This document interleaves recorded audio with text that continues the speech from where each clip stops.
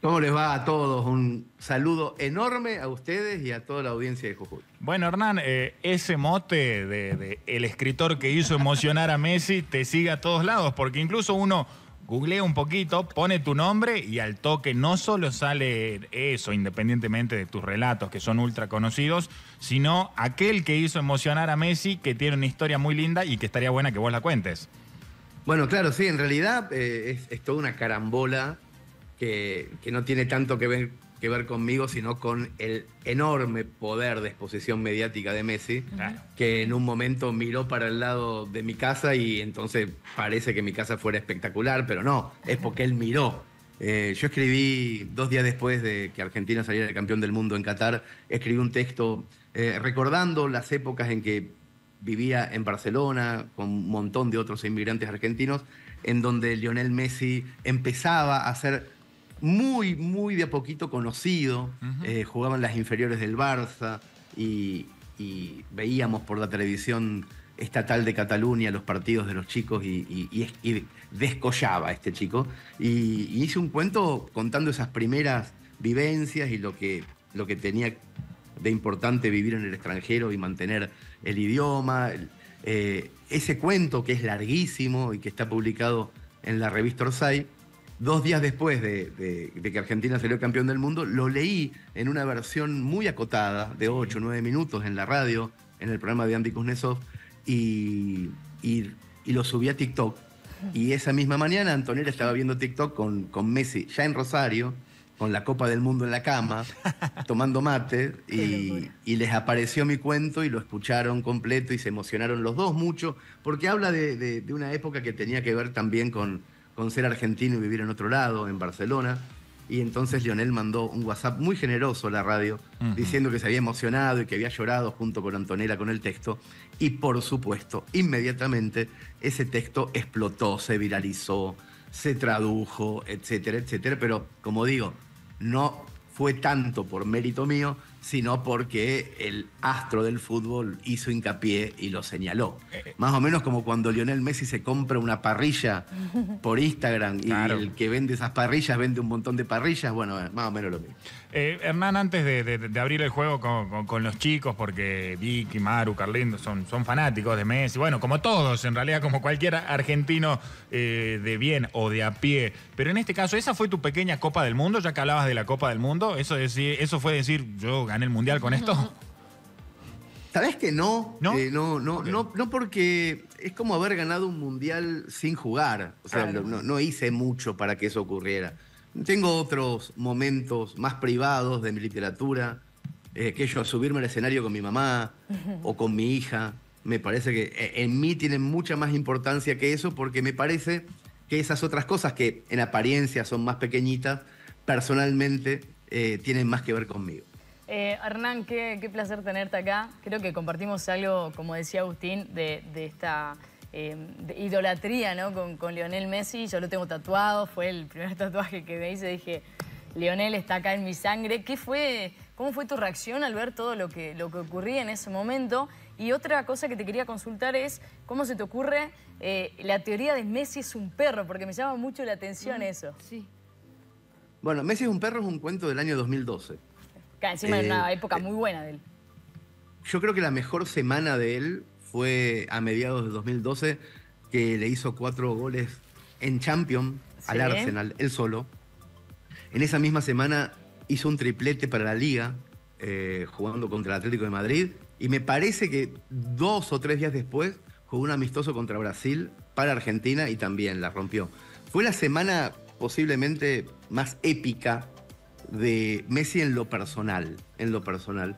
Y, yo esa semana no, no hacía otra cosa más que mirar videos de, YouTube con, con asistencias y con goles hasta que me apareció un video que no era de asistencias ni de goles, que era un video de agarrones, de, de faltas que le hacían, de fulles que le hacían a Messi y que Messi no se dejaba caer. Seguía con la pelota, lo agarraban y seguía con la pelota y yo digo, qué loco este pibe, porque no está entendiendo de fútbol. A veces es mucho más, estratégicamente, mucho más conveniente tirarse adentro del área grande para que sea penal, pero no, él, quería seguir con la pelota y me hizo acordar mucho a un perro que yo tenía cuando era chiquito que se llamaba Totín, que era bastante estúpido, hasta que le mostrabas la esponja patito de lavar los platos y ahí se ponía inteligentísimo, quería esa esponja, la quería llevarse la cucha, la esponja, y a mí me daba la impresión de que Messi era más parecido a un perro que un jugador de fútbol. Él quiere la pelota, no quiere ganar a cualquier precio, él quiere ganar metiendo la pelota dentro del arco.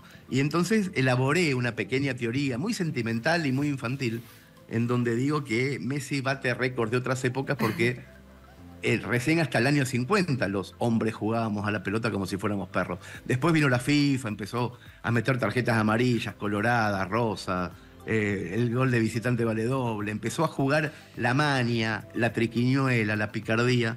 Y Messi no es hijo de la picardía, es hijo de meter la pelota adentro del arco. Y bueno, y fue un texto que también se viralizó muchísimo en esa época. Y 10 años después, otro texto que se llama La valija de Lionel, que es este que les contaba al principio, también se viralizó mucho. Fueron los dos únicos textos que escribí sobre, sobre Messi. Ahora, yo, eh, Hernán, yo tengo dos preguntas. La primera es, em, ¿qué, ¿qué, simboliza o qué representa Messi, el fútbol, para vos, en lo personal? En, en lo personal, nada. En, en, en lo profesional es un gran conector. Es una forma muy fácil de que rápidamente te presten atención cuando querés hablar sobre otra cosa. Yo cuando escribí Messi es un perro, tenía ganas de hablar sobre mi infancia y sobre mi perro. Cuando escribí La valija de Lionel, tenía ganas de hablar sobre inmigración, sobre las personas que somos inmigrantes y vivimos en otro lado. Si yo hubiera escrito esos dos textos eh, sin nombrar a Messi en ningún lado, claro. esos dos textos hubieran tenido una repercusión habitual. Ahora, si vos pones a Messi o al fútbol, entra gente al texto pero mucha más, mucha más gente entiende lo que yo quiero decir. Entonces, tanto Messi como el fútbol, como cualquiera de las pasiones más o menos habituales de un pueblo, son un gran conector para hablar de otra cosa. Inconscientemente fue como una estrategia. Entonces. Pero por supuesto, fue, fue su estrategia. Pero ahora, Hernán, la segunda pregunta que yo tenía era, hablaste de Messi parecido a Totín, ese perrito que vos tenías que va atrás de la pelota. No importa lo que sucede atrás, él va atrás de su pelota con un objetivo puntual que es hacer el gol. Ahora, ¿Hernán se parece en algo a ese Messi, a ese perro? ¿Te sentís identificado en algo o Hernán es totalmente diferente?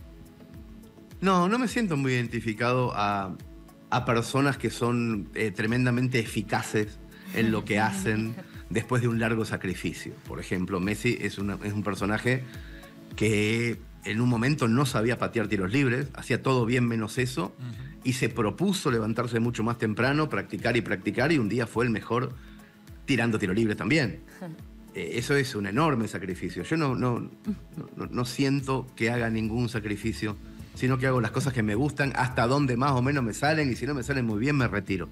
Entonces no, no, no veo no veo mucho eso. Eh, Hernán, también hay algo muy lindo que, tiene que ver con Messi, porque es eh, un loco hermoso que conocimos en la selección, como es el, el Dibu Martínez, a quien conoces, con quien estás trabajando en, en, en algo muy lindo que, que, tiene que ver con ese reconocimiento para alguien que, sacando a Messi, sacando a Di María, y debe ser el que más camisetas vende, el que volvió, ¿por qué no?, a ubicar al gremio de los arqueros ahí arriba. Sí, claro, el Dibu es un personaje muy especial, muy especial. Yo creo que en venta de camisetas y en idolatría está cabeza a cabeza con, con Ángel. Um, están ahí, ¿eh? ¿eh? A mí me parece que se, se consiguió con, con, este personaje no solamente darle otra vez una, una entidad privilegiada al puesto de portero, de arquero, sino que además hay un personaje que por fuera incluso de futbolístico es muy, muy atrevido. Eh, lo vimos cuando, cuando intentó defender a la hinchada argentina en, en un partido en Maracaná, sí. cuando la policía intentaba eh, pegarle palazos a la hinchada y el tipo se metió. O sea, está completamente loco en el mejor sentido de la palabra. Y, además de ser una gran un, gran alivio en, los penales o cuando ataca el equipo contrario, en donde tenemos una enorme seguridad, no solamente nosotros como hinchas, sino la propia defensa del equipo argentino. Eh, además de todo eso, me parece que es un gran personaje literario él en sí mismo.